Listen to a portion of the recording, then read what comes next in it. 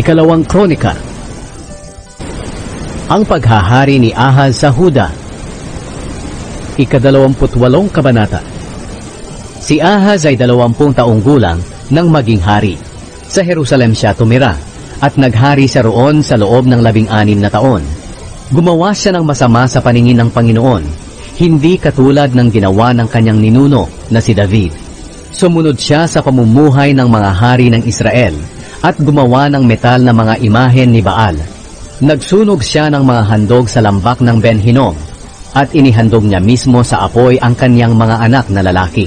Sinunod niya ang kasuklam-suklam ng mga kaugalian ng mga bansang pinalayas ng Panginoon sa pamamagitan ng mga Israelita. Nag-alay siya ng mga handog at nagsunog ng mga insenso sa mga sambahan sa matataas na lugar, sa ibabaw ng bundok, at sa ilalim ng bawat malalagong punong kahoy. Kaya ibinigay siya ng Panginoon na kanyang Diyos sa hari ng Aram. Tinalo siya ng mga Arameo at marami sa kanyang mamamayan ang binihag sa Damascus. Ibinigay din siya sa hari ng Israel na pumatay ng marami sa kanyang mamamayan. Sa isang araw lang, isang daan at dalawampung libong sundalo ng Huda ang pinatay ni Haring Peka ng Israel na anak ni Remalia. Nangyari ito sa mga taga-Huda dahil itinakwil nila ang Panginoon, ang Diyos ng kanilang mga ninuno. Pinatay ni Zikri na isang matapang na sundalo ng Israel sina Maaseya na anak ni Haring Ahaz, Azrikam na tagapamahala ng palasyo, at Elkana na pangalawa sa hari. Binihag ng mga taga-Israel ang kanilang mga kadugo na taga-Huda, dalawang daang libong asawa at mga anak. Sinamsam din nila ang mga ari-arian ng mga taga-Huda at dinala pa uwi sa Samaria. Pero nang dumating ang mga sundalo sa Samaria, sinalubong sila ni Oded na propeta ng Panginoon at sinabi, Ipinaubaya sa inyo ng Panginoon na inyong Diyos ang Huda dahil sa kanyang galit sa kanila. Pero labis ang ginawa ninyo. Pinagpapatay nyo sila ng walang awa at nalaman ito ng Panginoon doon sa langit. At ngayon gusto pa ninyong alipinin ang mga lalaki at mga babae na mula sa Jerusalem at sa iba pang lungsod ng Huda. Hindi ba't may kasalanan din kayo sa Panginoon na inyong Diyos? Makinig kayo sa akin. Galit na galit ang Panginoon sa inyo. Kaya pabalikin nyo ang inyong mga kadugo na inyong binihag. Ganito rin ang sinabi ng ibang mga pinuno ng Israel sa mga sundalo na dumating galing sa labanan. Ang mga pinuno ay sina Azariah na anak ni Jehohanan, Berekia na anak ni Meshilemot, Jehizkia na anak ni Shalom, at Amasa na anak ni Hadlai. Ito ang sinabi nila sa mga sundalo. Huwag niyong dalhin dito ang mga bihag na iyan, dahil pananagutan natin ito sa Panginoon. Dadagdagan niyo pa ba ang kasalanan natin? Marami na tayong kasalanan at galit na galit na ang Panginoon sa Israel. Kaya pinakawalan ng mga sundalo ang mga bihag at isinauli ang kanilang ari-arian sa harapan ng mga pinuno at mga mamamayan. Pagkatapos, lumapit sa mga bihag ang apat na pinuno na nabanggit at tinulungan ang mga bihag. Kumuha sila ng mga damit mula sa mga kagamitang nasamsam ng mga sundalo at ipinasuot ito sa mga hubad na bihag.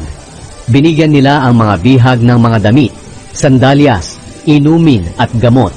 Ipinasakay nila sa mga asno ang mga mahina at dinala nila pabalik ang lahat ng bihag sa kani-kanilang mga kababayan. Doon nila sila iniwan sa Jericho sa bayan ng mga palma. Pagkatapos, umuwi sila sa Samaria. Humingi ng tulong si Ahaz sa Assyria. Nang panahong iyon, humingi ng tulong si Haring Ahaz sa hari ng Assyria, sapagkat muling nilusob ng mga taga-Edom ang Huda at binihag ang ibang mga naninirahan dito. Bukod pa rito, nilusob din ng mga Filisteo ang mga bayan ng Huda na nasa kaburulan sa kanluran at sa Negev. Naagaw nila ang Bet-Shemesh, Ayalon, Gederot, Soko, Timna at Gimzo, pati ang mga baryo sa paligid nito, at doon na sila nanirahan. Ibinaba ng Panginoon ang Huda dahil hinikayat ni Haring Ahaz ang mga mamamayan sa paggawa ng kasamaan at hindi siya sumunod sa Panginoon. Kaya pagdating ni Haring Tiglat Pileser ng Assyria, ginipit niya si Ahaz sa halip na tulungan. Nanguha si Ahaz ng mga ari-arian sa templo ng Panginoon, sa palasyo, at sa mga bahay ng mga opisyal, at ibinigay niya ito sa hari ng Assyria. Pero hindi ito nakatulong kay Ahaz. Sa panahon ng mga kahirapan ni Haring Ahaz, lalo pa siyang naging suwail sa Panginoon. Nag-alay siya ng mga handog sa mga Diyos ng mga taga-Damascus na tumalo sa kanya. Sapagkat sinabi niya, ang mga hari ng Aram ay tinulungan ng kanilang mga Diyos. Kaya maghahandog din ako sa mga Diyos na ito, para tulungan din nila ako. Pero ang mga ito ang nagpahamak sa kanya at sa mga taga-Israel. Kinuha ni Ahaz ang mga kagamitan sa templo ng Diyos at ipinadurog ito. Ipinasara niya ang pintuan ng templo at nagpatayo siya ng mga altar sa bawat kanto ng Jerusalem. Nagpatayo rin siya ng mga sambahan sa matataas na lugar sa lahat ng bayan sa Huda para makapaghandog sa ibang mga Diyos. At labis itong nakapagpagalit sa Panginoon, ang Diyos ng kanyang mga ninuno. Ang iba pang mga salaysay tungkol sa paghahari ni Ahaz at sa kanyang pag-uugali mula sa simula hanggang sa katapusan ay nakasulat sa aklat ng kasaysayan ng mga hari ng Huda at Israel.